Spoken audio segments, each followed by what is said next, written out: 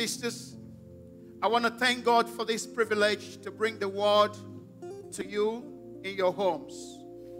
It is my prayer that as you partake of today's service, the Lord will bless you, the Lord will empower you, the Lord will cause you to hear a word that will bring change into your life. And when I talk about change, I'm talking about the kind of change that will draw you closer to God. The kind of ch- change that will cause you to seek God and not the things of God. In the mighty name of Jesus. Thank you, Holy Spirit. In Jesus' mighty name, we have worship. Amen. So this morning, by the grace of God, I want to speak to us on part two of the message titled, Let Your Scar Be Your Wisdom. Let your scar be your wisdom. Please turn with me to the book of Judges, chapter 11, verse 1 to 8. The book of Judges, chapter 11, verse 1 to 8. It says, Now Jephthah of Gilead was great warrior. He was the son of Gilead, but his mother was a prostitute. Gilead's wife also had several sons. And when these half brothers grew up, they chased Jephthah off the land. You will not get any of our father's inheritance, they said, for you are the son of a prostitute. So Jephthah fled from his brothers and lived in the land of Tob. Soon, he had a band of worthless rebels following him. About this time, the Ammonites began their war against Israel. When the Ammonites attacked, the elders of Gilead sent for Jephthah in the land of Tob. The elders said, Come and be our commander. Help us fight the Ammonites. But Jephthah said to them, Aren't you the ones who hated me and drove me from my father's house? Why do you come to me now when you are in trouble? Verse 8. They responded, Because we need you. The elders replied, If you lead us in the battle against the Ammonites, we will make you the ruler over all the people of Gilead. May the Lord bless the reading of His word. Amen. Again, the objective of this message is to help us to grow beyond our pain. The objective of this message is to help us to grow beyond our disappointments.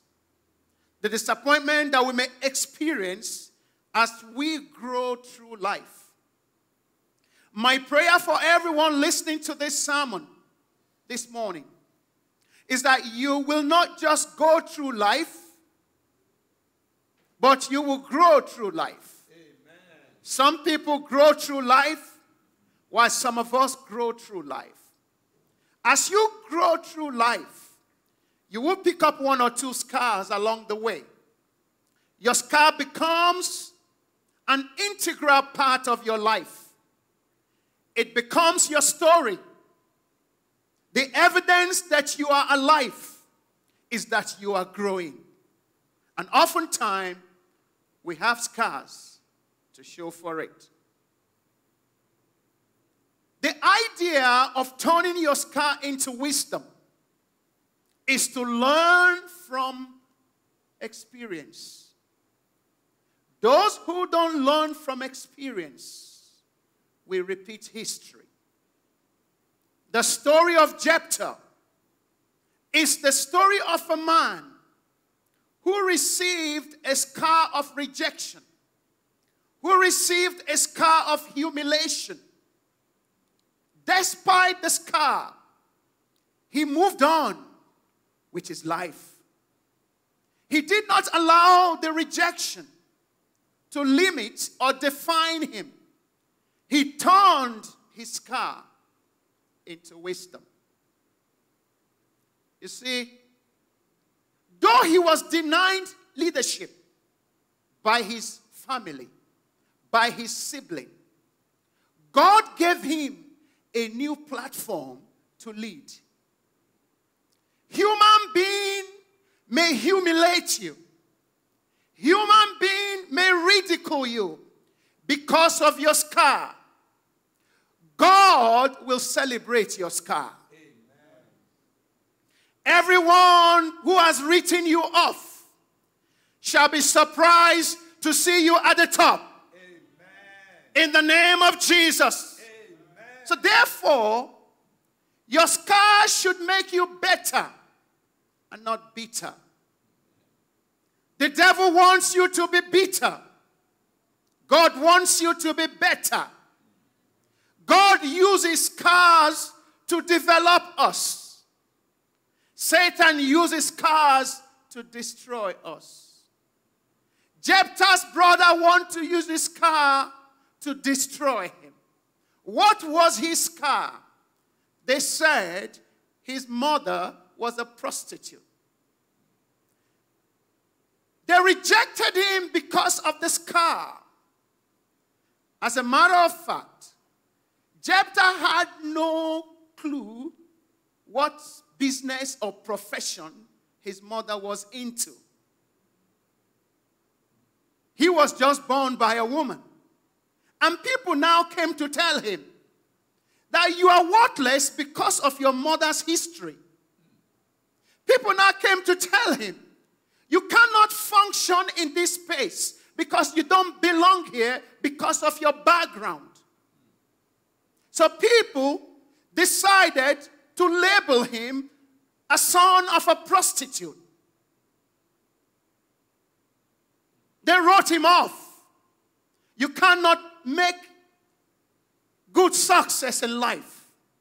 You cannot attain anything because your background is nothing to write home about. Leave. They ran him out of the house. They humiliated him. They rejected him. And maybe you have been rejected in one way or the other. Maybe you have been humiliated by reason of your, of your scar, by reason of what you went through. Maybe somebody has written you off by reason of your story. Jephthah left. He did not hang around and be bitter and be upset.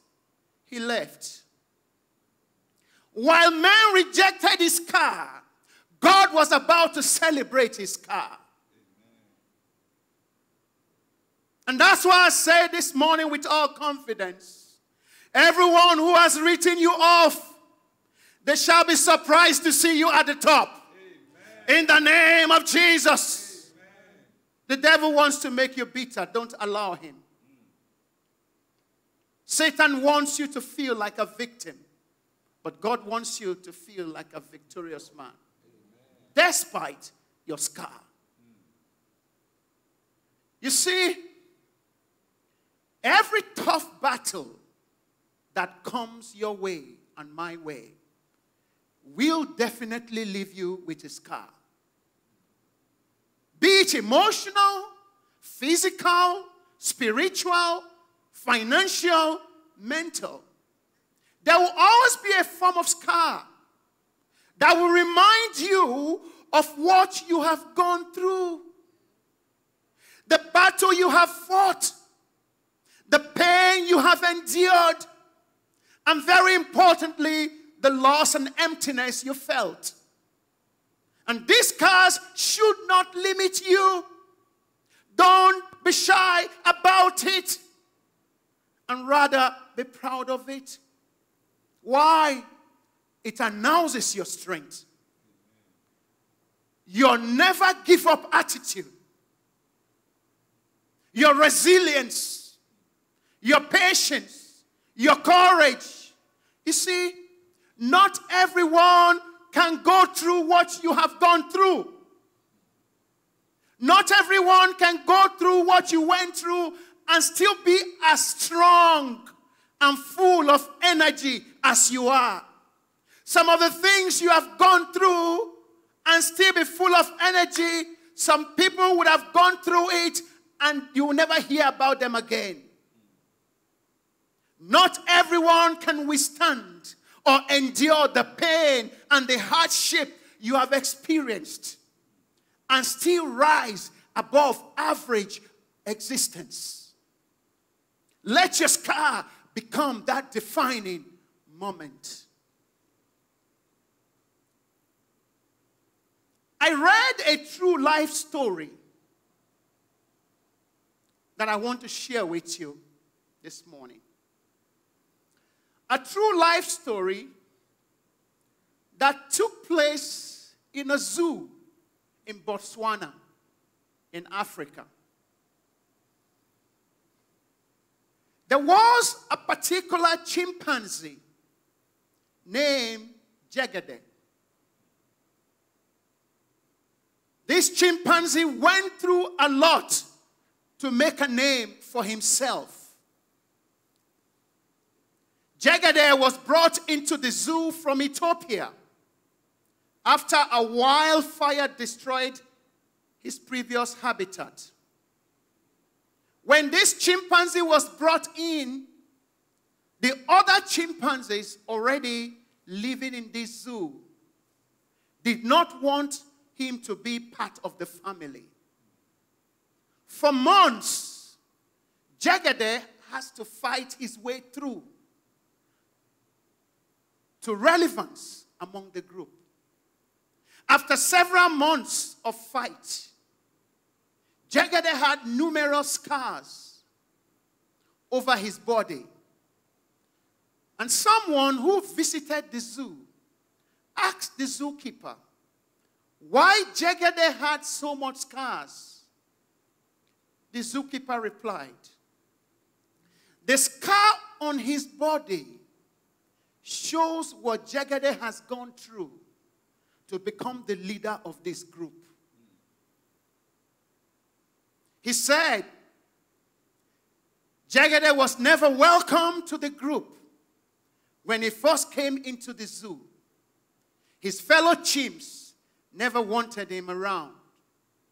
Jegede was living like an outcast among his fellow chimpanzees.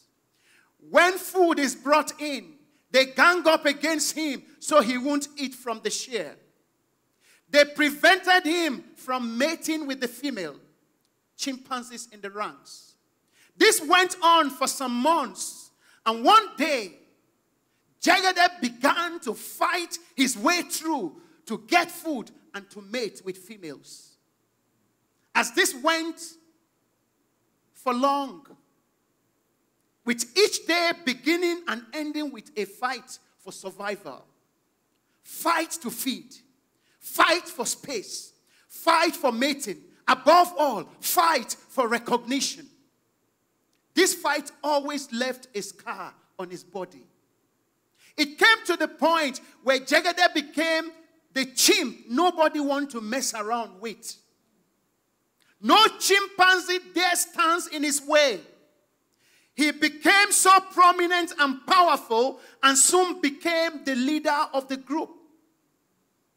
That is why the scripture says, don't throw away your confidence, it will be richly rewarded. Jegede's story made him stand out when visitors visited the zoo. Every visitor to the zoo rushed to his section just to behold this chimpanzee who has fought and gone through hell to become relevant and powerful among his fellow chimps. Beloved, why have I shared this story with you? Let your scar become your story. Let it inspire others to see that with determination and a heart of a fighter, they can win any battle in life. Let your story motivate others not to give up. Let it motivate people not to give up. We all get battered down by circumstances. Sometimes we even we're battered down by people, family members. Many of us try to hide this scar, to mask them, and to pretend they were never there to begin with. The truth is, scars never truly go away. In life, we must go through the short term pain to reach the long term gain. I repeat, in life, we must go through the short term pain to reach the long term gains. A life worth living is about growth, beloved. A life worth living is about growth, it's not about comfort. Embrace your scar. As a matter of fact, burn it as fuel for your journey. Burn your scar as fuel for your journey. Your scar should be the reason for somebody's laugh. Your scar should be the reason for somebody's laugh. Let me explain. Let your scar become the reason why somebody will laugh again. Let your scar become the reason why somebody will laugh again. Somebody who is going through a lot, who thinks that they are doomed, who think there's no way out. After you have shared your story, let your story be the reason why this person will laugh again. Your laugh must never be the reason for somebody's pain.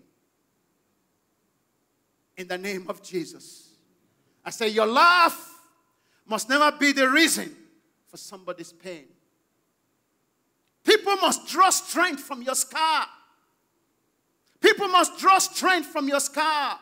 People must draw strength from your wound. People must draw st- strength from your pain. The story that gave you that scar should be an inspiration to someone who is at the verge of giving up and throwing in the towel. Even Jesus in his post resurrection had scars to show his disciples when he appeared to them. The holes in his hand, his feet and side, they were still there, still visible. He was able to show them. In fact, these scars were very much part of Jesus' transformed identity. My brothers and my sisters, rather than trying to erase your scar, rather than trying to hide them or pretend they never existed, you should acknowledge their existence. Many times, many, many times in life, the very problem we think is going to destroy us becomes the platform for your promotion.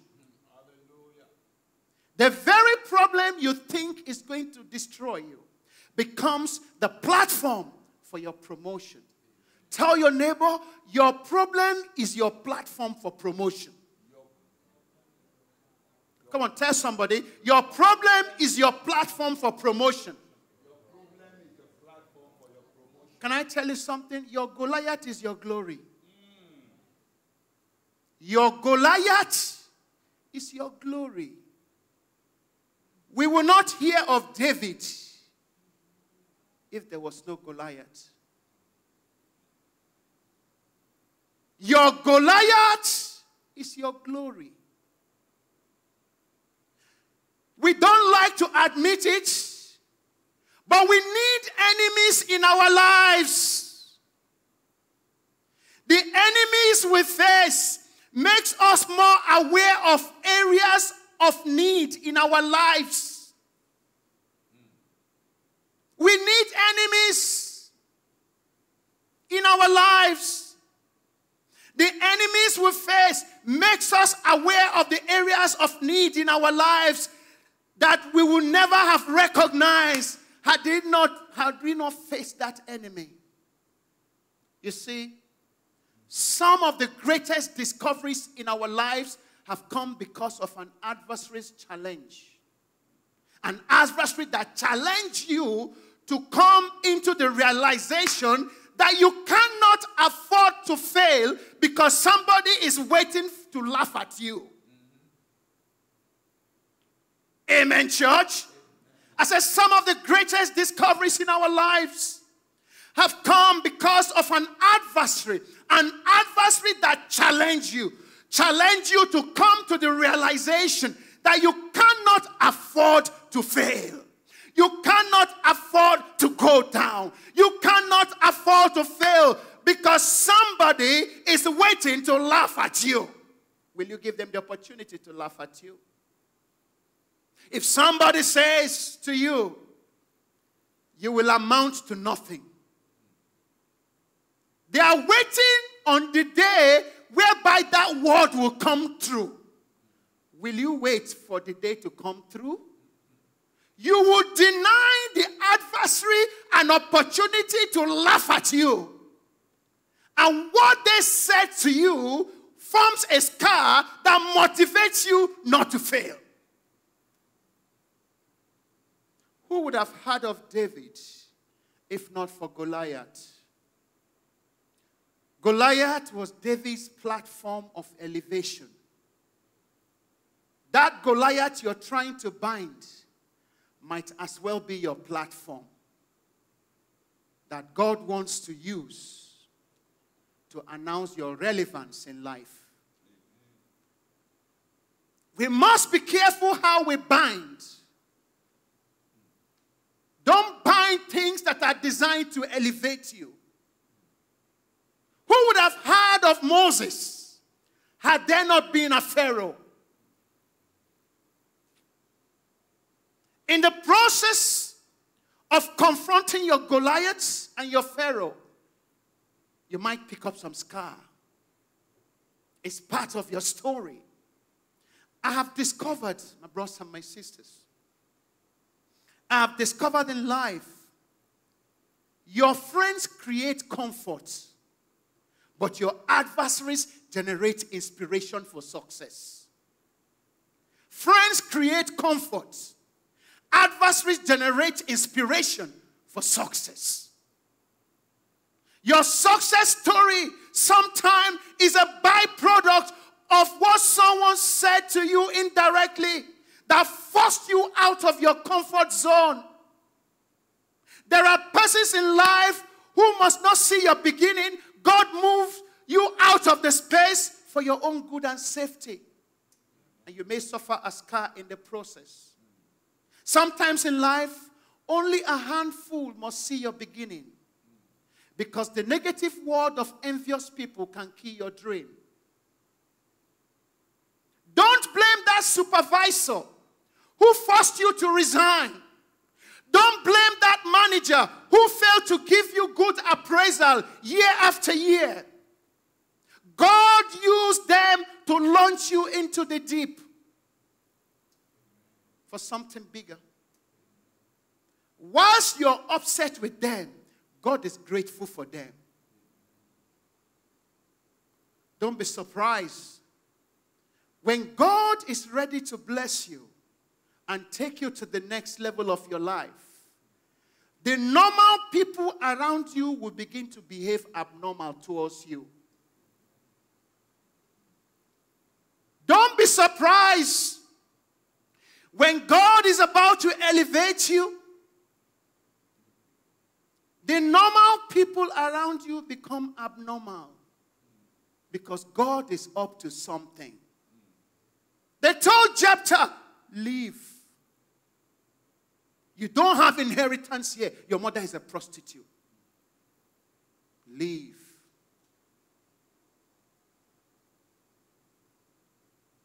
Don't be surprised When normal people start behaving abnormal in your life, watch out. God is up to something. Why would Abraham and Sarah send Hagar and her son away with a flask of water?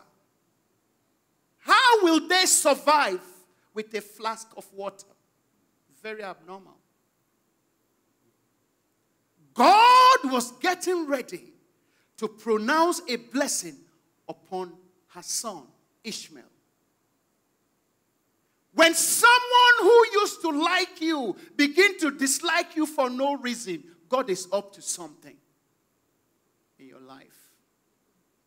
Genesis 21, verse 14 to 19. Genesis 21, verse 14 to 19. So Abraham got up early in the morning and prepared a food and a container of water and strapped them on Hagar's shoulders. Then he sent her away with, the, the son, with their son. And she wandered aimlessly in the wilderness of Beersheba.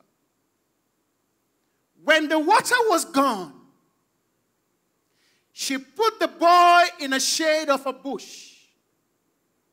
Then she went and sat down by herself, about a hundred yards away. I don't want to watch the boy die, she said. And she burst into tears. But God heard the boy crying. And the angel of God called to Hagar from heaven Hagar, what's wrong? Do not be afraid. God has heard the boy crying as he lies there. Go to him and comfort him, for I will make him a great nation from his descendants. Then Hagar opened her eyes and she saw a well full of water. She quickly filled her water container and gave the boy a water to drink. My brothers and my sisters, we know the story that drove Hagar out of the house. But somehow, Abraham and Sarah agreed to send her away. She left with a scar of rejection. She left with her son, and they, they wandered about aimlessly. And there are times when you suffer rejection, you don't know what else to do, you don't know where to turn, you don't know where to start from. In those moments, Watch out. God is so close to you. God is so close to you to turn your scar into wisdom, to help you overcome that pain. Be careful. While she was there crying, God heard the prayer, the, the, the crying of the baby. When she was in Abraham's house, she didn't get a visitation. In the place of your pain, in the place of your scar, God wants to minister to you. God wants to use your scar and turn it to wisdom and turn it to strength and give you a new opportunity to grow. She never heard from God while at Abraham's house. Her scar took her to the place where God could speak to her. Her scar took her to the place where God could bless the son.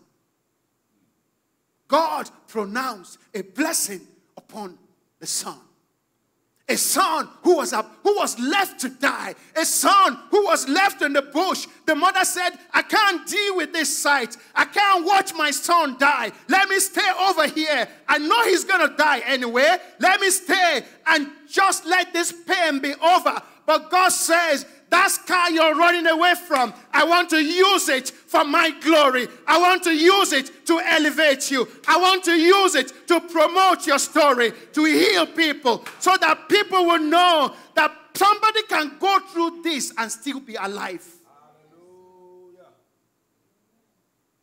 God blessed the boy, and she eventually picked up the boy. In addition to blessing the boy, futuristically. The very problem that she had, the problem of water, was solved. God opened her eyes. I want to tell you, beloved, sometimes the greater the pain, the greater the revelation. See, in that place of pain, God ministered to this woman. God open her eyes. In that place of pain that you are right now, God wants to minister to you. Just pay attention. God wants to minister to you. Let your pain drive you to God and not away from God. Let your pain, let your scar drive you to God. Let it drive you to God and not away from Him. Maybe you have picked up a scar as a result of a failed relationship. Maybe you have picked up a scar as a result of a failed business. Maybe you have picked up a scar as a result of rejection from people who are supposed to embrace you. Maybe you have picked up a scar as a result of a lost opportunity. This morning, I am here to announce to you that God wants to heal you. God wants to heal you completely. Don't allow that scar to limit you. Don't allow that scar to define your future. God wants to help you today to turn that scar into wisdom. We sang the song, Let your living water flow over my soul. Let your Holy Spirit come and take control of every situation that has troubled my mind. Wherever you're listening to this sermon, turn that to prayer right now. Let your living water flow over my soul. Lord, I can see this car. I can feel this car. Lord, let your living water flow over my soul. Let your Holy Spirit come and take over. Come and take control of every situation that has troubled my mind. All my cares and burdens unto you, Lord, I roll. Will you give the Holy Spirit a chance this morning to heal you today, to turn your scar into wisdom? You see, I know what it is to fight giants that have come to hinder your progress and try to force you into the boundaries of limitation and isolation. I know. Don't be afraid to pick up a scar. Like David, confront your Goliath. Run after your Goliath. The Bible says David ran after Goliath. When people were running away from Goliath, David ran after him. With his simple slingshot and a mouthful of confidence, David ran toward Goliath. With one release of the stone, the giant fell. David ran and cut off Goliath's head for the king. A great victory was won. My brothers and my sisters, God does not want you to live in the shadow of your Goliath, your scar. Don't live in the shadow of your scar, fearful of the future afraid to step out to speak up. Instead, he wants you to face your Goliath. Face your Goliath. Face that scar. Don't allow it to limit you. Don't allow it to define your boundaries. The story of David and Goliath can teach us much more about how to face our giants in life. If you are always complaining, of how unfair people have been to you, or weeping over criticism and rejection, or upset because somebody mistreated you in the past, get over it. Get over it. What God has for you ahead of you is greater than your present pain. Get over it. Beloved, the struggles of life makes you stronger struggles, challenges, hard times offers us more value than any other time of our life. You cannot grow without struggle. You cannot grow without resistance. Think about the time in your life that may have been hard, but forced you to become a better person in life. Think about that time. Think about a time in your life that may have been hard, but it forced you to become a better person. You cannot grow without struggle. You cannot develop strength without resistance, without challenging yourself. My brothers and my sisters, hear me loud and clear. If you don't challenge yourself, life will challenge you. If you don't challenge yourself, life will challenge you. Very quickly, I have a few points that I want to share with us. How can I turn my scar into wisdom? I want to share five practical steps we can take to turn our scar into wisdom. Number one, five practical steps that we can take to turn our scar into wisdom. Number one, bring your scar to God, don't run from Him. Bring your scar to God, don't run from Him. You see, when you run from God in the season of your challenge, all you have left with is your only limited ability to cope with what you're going through. When you run from God in the season of your scar, your challenges, all you have left is your limited ability to cope with what you're going through. Your ability is, that is limited is all you have left. On the other hand, God invites us to draw near to Him that we might experience His peace, His healing, and closeness. And this is what the scripture points to in Psalm 34, verse 18. Psalm 34, verse 18 says, Psalm 34, verse 18 says, The Lord is close to the brokenhearted. He rescues those whose spirits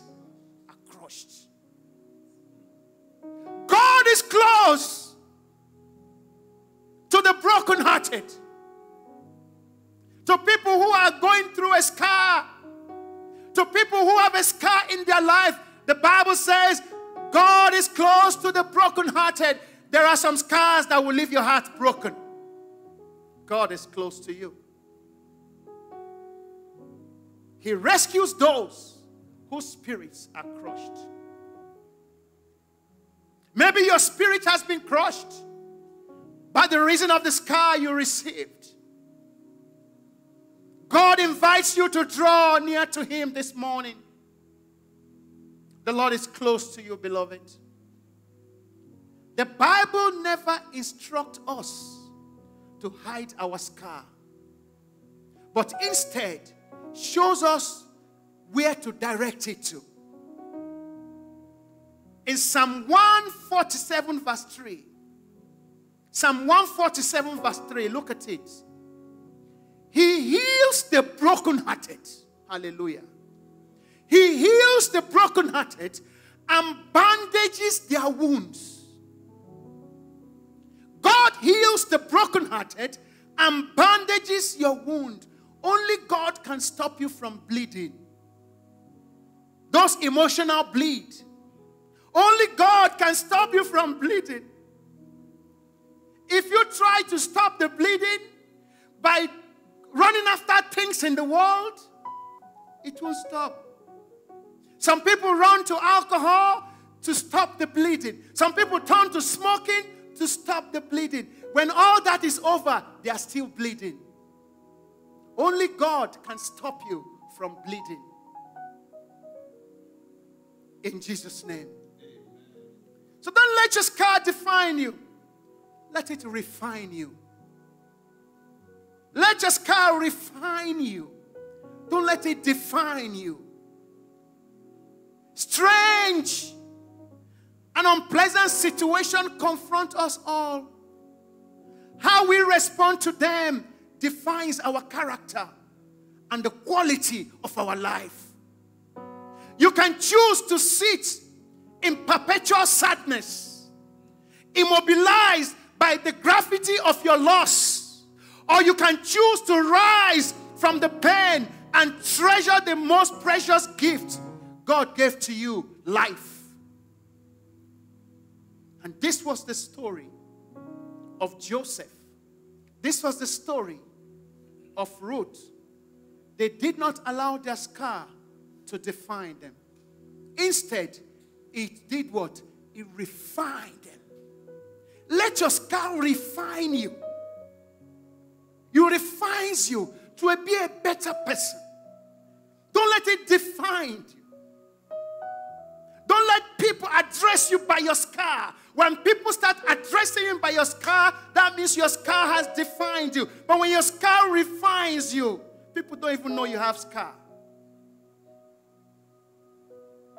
And that's why Joseph could make this statement as I close.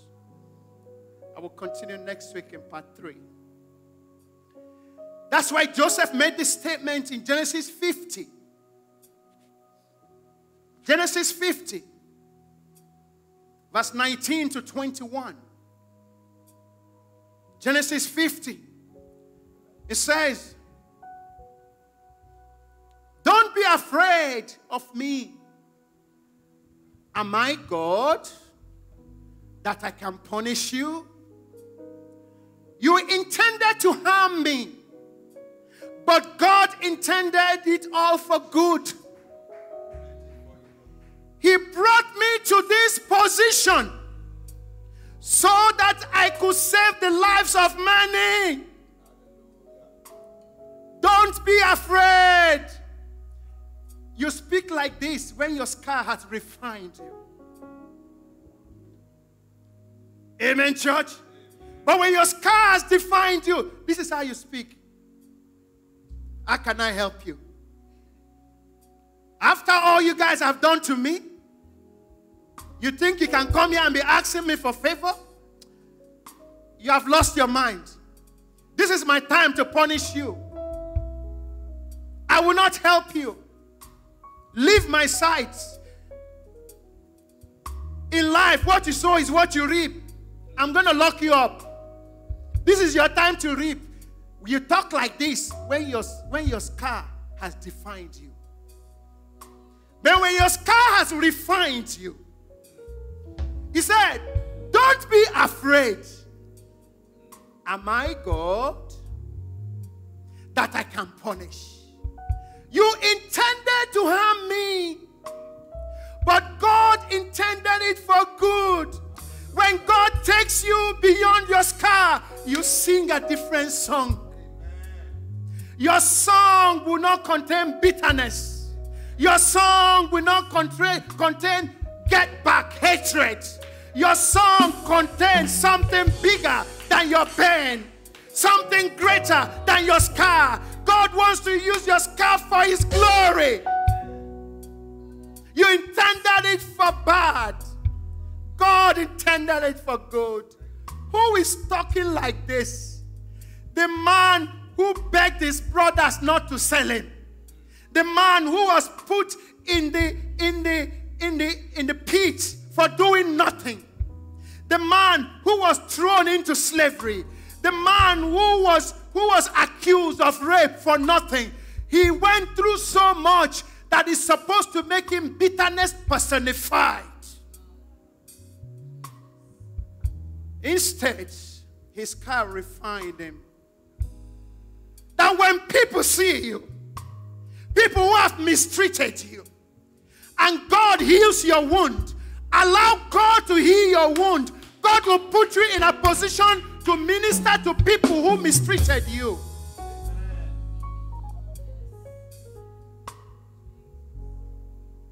Your new refined position is enough to speak for you if you will allow it.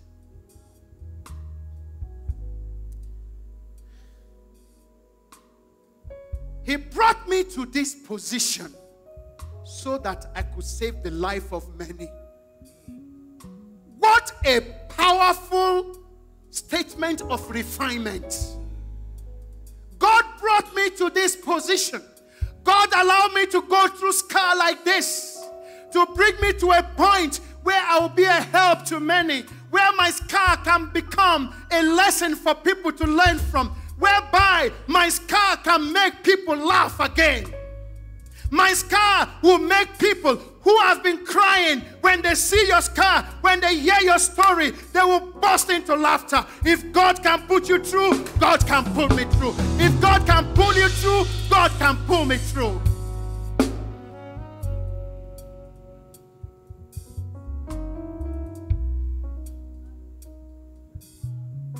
He said, Don't be afraid, guys. Listen, at one point, the people who made Joseph afraid, Joseph told them, Don't be afraid. My God, the people who, you see, do you know what it is for your siblings to gang up against you? for your siblings to say that God is doing too much for you, we're going to level you.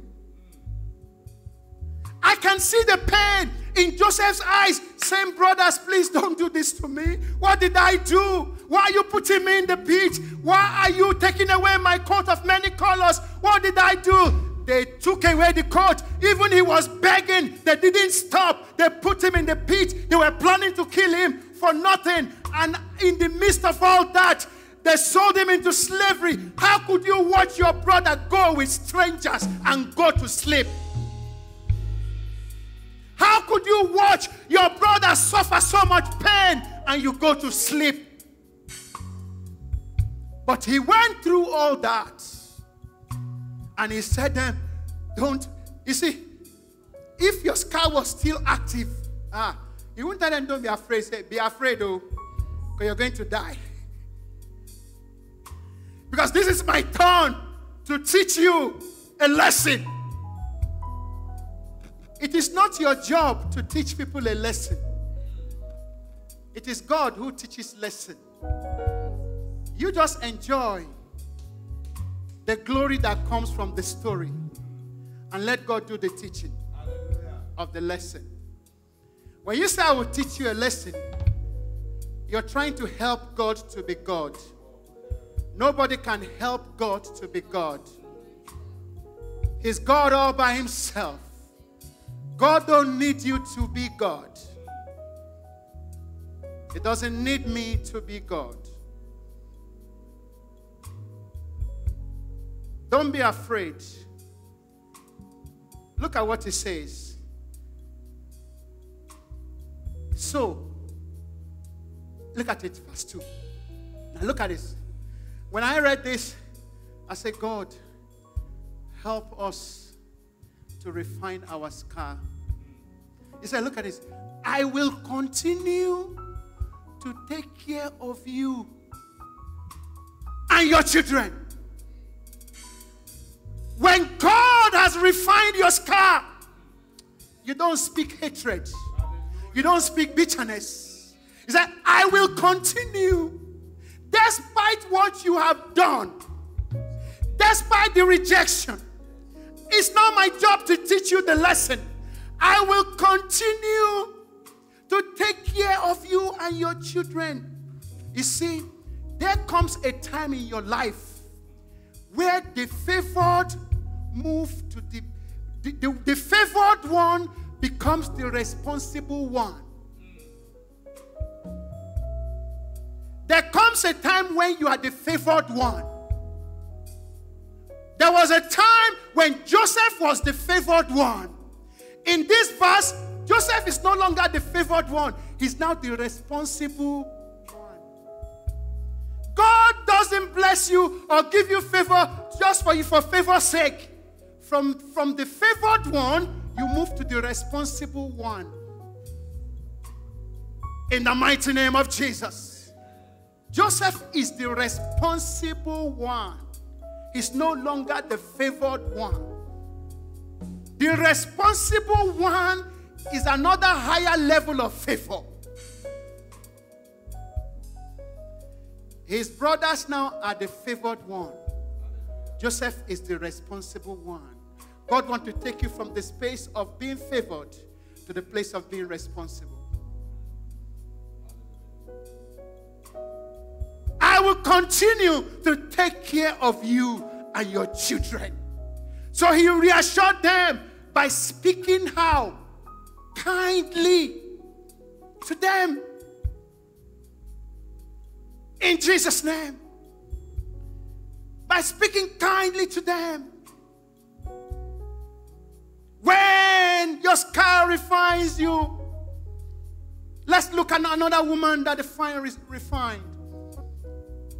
Ruth chapter 1, 16 to 18. We close with that. Ruth chapter 1, 16 to 18. It says, But Ruth replied, Don't ask me to leave you or turn back. Wherever you go, I will go. Wherever you live, I will live. Your people will be my people. Your God will be my God. Wherever you die, I will die, and I will be buried. May the Lord punish me severely if I allow anything but death separate us. When Naomi saw that Ruth was determined to go with her, she said nothing more. Praise the Lord. Praise the living Jesus. You see, beloved, this woman, she did we know what Ruth went through. She became a widow so early in life. And um, that was enough for her to be bitter and just say, Naomi, bye. Too much crosses I follow you. I'm not going to stick around with you. I'm gone. But instead, she allowed her scar to refine her. And when your scar refines you, you speak differently. And she said all these kind words. In that place of refinement, God is preparing you for your next level. While she was saying all these things, she never knew there was a Boaz waiting for her. But if she had allowed the situation to make her bitter and not better. She would have just stayed in the place of bitterness. She would have just been dejected, and all she thinks about is her loss. All she thinks about is her husband that is gone. But she ran to God.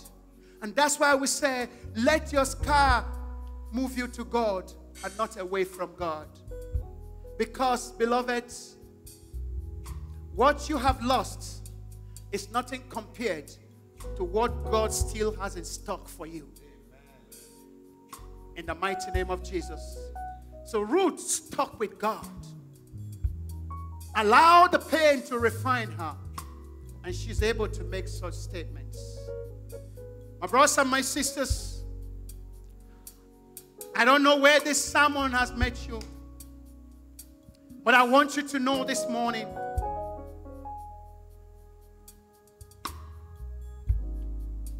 that your Goliath can be your glory. That problem, that scar can be your platform for your elevation. But what is, the, what is the first practical thing we should do? Take your scar to God. Take your scar to God. That's why the song says, Let your living water flow over my soul, my heavy heart. The Lord is close to the brokenhearted. Let your living water flow over my soul. Maybe you have suffered the scar of a bad relationship. Maybe you have suffered the scar of a child that is giving you problem. Maybe you have suffered the scar of a failed business. My brothers and my sisters, let that scar refine you. Don't make it define you. Let's rise up on our feet. Oh, I want you in your homes. Turn this song to prayer. Let your living water flow, flow over my soul to heal every pain, to heal every scar in my life.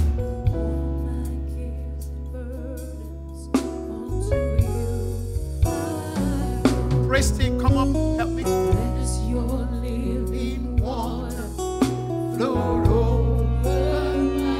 Yes, sing it to the Lord wherever you are listening to this sermon.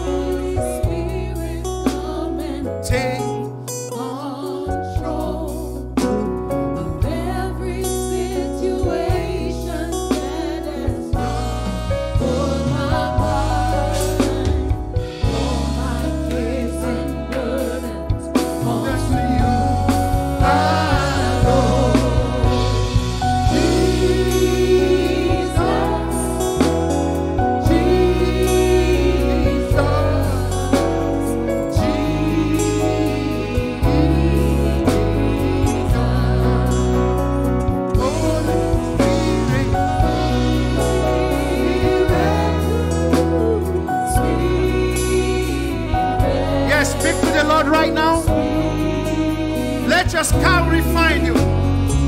Like Joseph, let him make you a better person.